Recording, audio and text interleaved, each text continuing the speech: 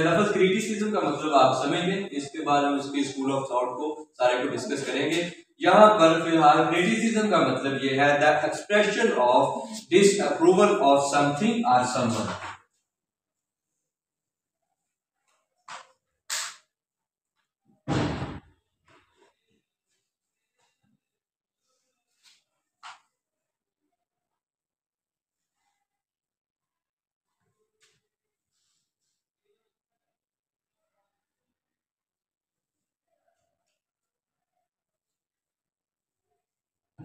अब यहाँ पर समथिंग से मुराद और समवन से मुराद कोई स्पेसिफिक बंदा भी हो सकता है। फॉर एग्ज़ाम्पल आप किसी शादी में गए हैं, वहाँ पर आपने गर्ल्स वगैरह मतलब जिस तरह से वापस आके दो सहेलियाँ बैठी, नहीं उन्होंने कपड़े नहीं से अच्छे पहने हुए, ये वो इस तरह से तनकीद करना शुरू कर दें।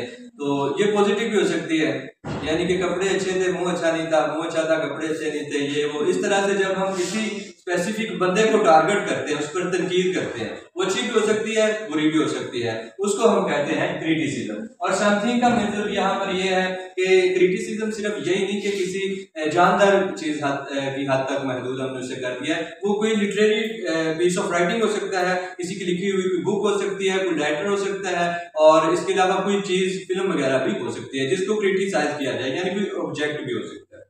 तो यहाँ पर ये क्रिटिसिज्म अब इसको आगे हम लेकर चलते हैं।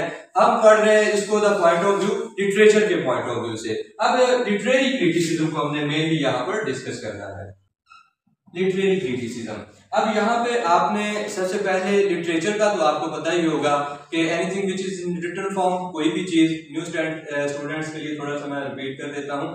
कि लिटरेचर अगर लिटरेचर का जो वर्ड है द वर्ड लिटरेचर में have been derived from the Latin word literature which means that anything which is in written form यानी जो वर्ड लिटरेचर है, ये लैटिन जबान का लफ्ज लिटरेचर से निकला है, जिसका मतलब है कि कोई भी चीज़ जो कि हमारे पास रिटन फॉर्म के अंदर मौजूद होती है उसको हम लिटरेचर का पार्ट कहते हैं या लिटरेचर कह सकते हैं। लेकिन यहाँ पर क्वेश्चन ये आ गया कि जो न्यूज़पेपर है या टेक्निकल बुक्स हैं, उनको फिर हम पार्ट ऑफ़ लिटरेचर क्यों नहीं कंसिडर करते? उसकी वजह यह है कि आपने बताना है कि लिटरेचर को लिटरेचर होने के लिए उसके अंदर थ्री क्वालिटीज का होना ज़रूरी है। मेनली उसके अंदर होना, सबसे पहले आपने कहना है कि उसके अंदर आर्टिस्टिक आर्टिस्टिक टेस्ट होना चाहिए।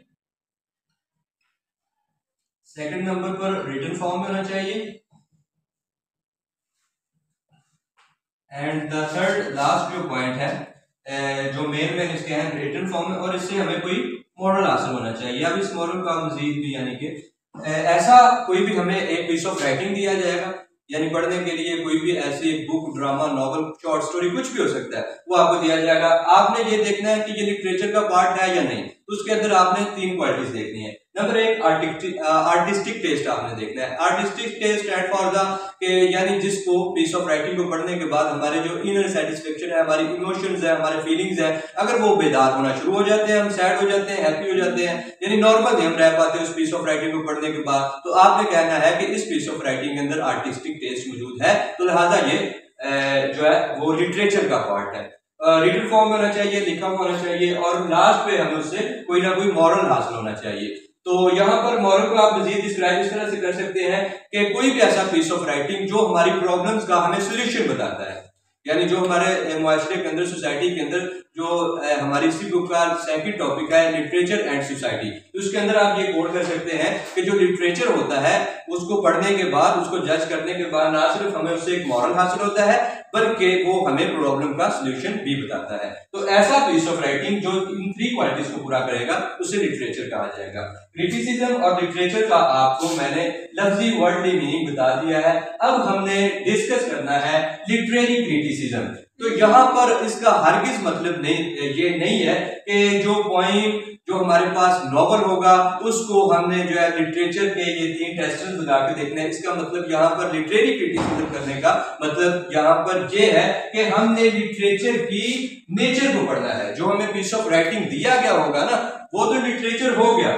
लिटरेचर का मैंने न्यू स्टूडेंट्स के लिए बताया कि लिटरेचर होता क्या है। अब एक चीज़ लिटरेचर बन गई है, वो पता हमें चल गया है, ये पोइम है, ये नॉवल है। फिर हमने मेनली लिटरेरी क्रिटिसिज्म के अंदर उसकी नेचर को देखना है। यानी आप सिंपली कह सकते हैं, जो लिटरेरी क्रिटिसिज्म का सारा टॉपिक है, ये अबाउट है नेचर के। यानी अबाउट द लिटरेचर इसके अंदर हम इसकी नेचर को देखेंगे। लिटरेचर का जो भी पीस ऑफ़ राइटिंग है। अच्छा तो अब यहाँ पर हमें यह समझ आ गया कि लिटरेरी क्रिटिसिज्म के अंदर हमें जो पीस ऑफ़ राइटिंग दिया गया होगा, जिसके ऊपर हमने क्रिटिसिज्म करनी है समझ आ गया कि लिटरेरी क्रिटिसिज्म के अंदर हमें जो पीस ऑफ़ राइटिंग दिया गया होगा, जिसके ऊपर हमने क्रिटिसिज्म करनी है फॉर एग्जांपल हमें एक पॉइंट दे दी गई, हमें एक शॉर्ट स्टोरी दे दी गई कि उन्होंने हमें कहा कि, जी, इसके ऊपर लिटरेरी क्रिटिसिज्म इसको करके दिखाए। तो अब यहाँ पर हमें पता चल गया कि हमने उस लिटरेचर की नेचर को सबसे पहले समझना है कि वो क्या चीज़ है। अब इसके लिए हमें स्कूल ऑफ़ थॉट्स का सहारा लेना पड़ता है। अब जो ये क्रिटिसिज्म है, इसको पजीरियाई मिली है ट्वेंटी सेंचुरी के अंदर। यानी जब बीसवीं सदी आती है तो लिटरेचर जो क्रिटिसिज्म की टर्म है लिटरेचर के अंदर, इसको पजीरियाई मिली है। इससे पहले भी ये रही है। अगर हम गरीब फिलोसफर अरिस्टोटल अरिस्टोटल जिसने जो है वो आपको बताया था कॉन्सेप्ट ऑफ़ ट्रेजडी दिया था। तो यहाँ पर भी इसका एक स्टूडेंट था, प्लाटो। सॉरी प्लाटो इसका टीचर था और अरिस्टोटल उसका स्टूडेंट था। अब अरिस्टोटल ने पॉइंट से रिलेटेड ट्रेजेडी का कॉन्सेप्ट दिया, इसके अलावा इसने जो है वो पोइट्री से रिलेटेड भी कुछ कॉन्सेप्ट दिए थे। पॉलिटिक्स इसने अपना एक वर्क लिखा था। तो उसके ऊपर इसका जो टीचर था, जिसकी एकेडमी में ये पढ़ता था, प्लाटो, वो ना खुश था। इन दोनों के दरमियान बड़ा क्लैश रहा है। ये इसका टीचर था। इसका अरिस्टोटल। तो यहाँ पर बताने का मकसद यह है कि गरीब जब सिविलाइजेशन चल रही थी, यानी क्लासिकल एरा ओल्ड एरा जिसे हम कहते हैं तो वहाँ पर भी ना चाहते हुए इन दोनों ने एक दूसरे के वर्क को क्रिटिसाइज किया है। यानी आपने ये कहना है कि क्रिटिसिज्म वाइज का स्कूल ऑफ़ थॉट जो है, वो शुरू से चलता आ रहा है। जब से लिटरेचर बना है प्रोड्यूस हुआ है तो उसके ऊपर क्रिटिसिज्म का उसे सामना करना पड़ा है। लेकिन इसको एक स्पेसिफिक वर्डाइजेशन मिल गई, इसको पजीरियाई मिल गई, या हमें पता चल गया कि जब किसी के वर्क को कोई क्रिटिसाइज करता है, उसे बुरा भला या अच्छा कहता है, उसे शाबाशी देता है या उसमें से कमियाँ कुटाइयाँ निकालता है तो उसको हम टर्म देते हैं क्रिटिसिज्म की। ये हमें ट्वेंटी सेंचुरी के अंदर आकर क्लियर हो गया। अब यहाँ पर आपने सबसे पहला जो स्कूल ऑफ़ थॉट यूज़ किया जाता था, चीज़ों को समझने के लिए लिटरेचर के पार्ट को क्रिटिसाइज करने के लिए, वो था बायोग्राफिकल क्रिटिसिज्म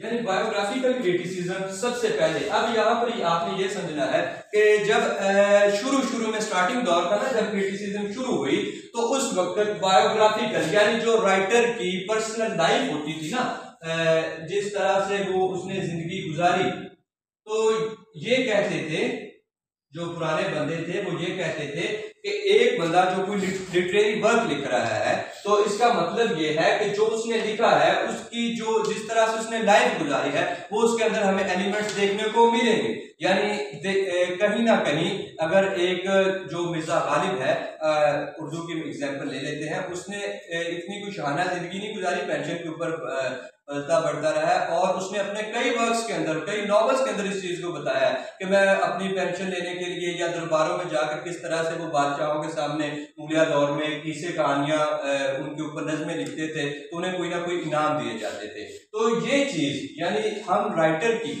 वो पॉइंट भी हो सकता है, वो कोई भी जो लिटरेरी फिगर है, उसकी हम पर्सनल लाइफ को यानी जो उसने जिस तरह से ज़िंदगी गुजारी है, उसको हम पहले पढ़ते हैं और फिर इसके बाद उसने जो वर्क लिखा है, उन दोनों का हम आपस में कम्बिनेशन करते हैं और फिर हम उसको क्रिटिसाइज करते हैं। तो ये सबसे पहला और ओल्ड तरीका है बायोग्राफिकल क्रिटिसिज्म लेकिन जब ट्वेंटी सेंचुरी आई तो यहाँ पर एक नई चीज़ को, यानी जो क्रिटिसिज्म है ना, ये एक तरह का रिएक्शन होता है किसी भी चीज़ से रिलेटेड जब हमने किसी चीज़ को क्रिटिसाइज करना है तो इसका मतलब यह है कि हमने एक रिएक्शन अपना देना है। वो अच्छा भी हो सकता है और बुरा भी हो सकता है।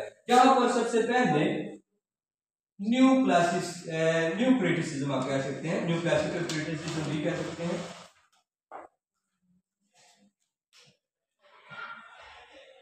Oh,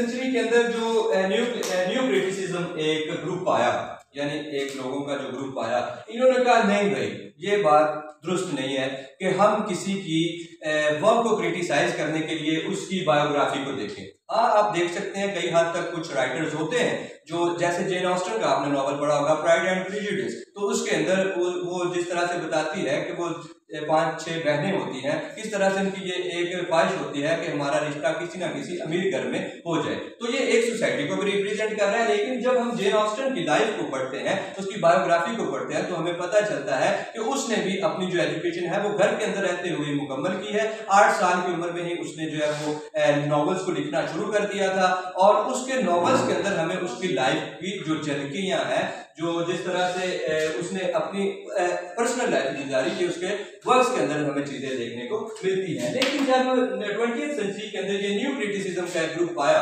इन्होंने कहा, नहीं भाई, ये गलत बात है। आप विलियम वर्ड्सवर्थ को देख लें, उसके पास तो खाने के लिए पैसे नहीं होते थे, जो रोमांटिक पॉइंट है।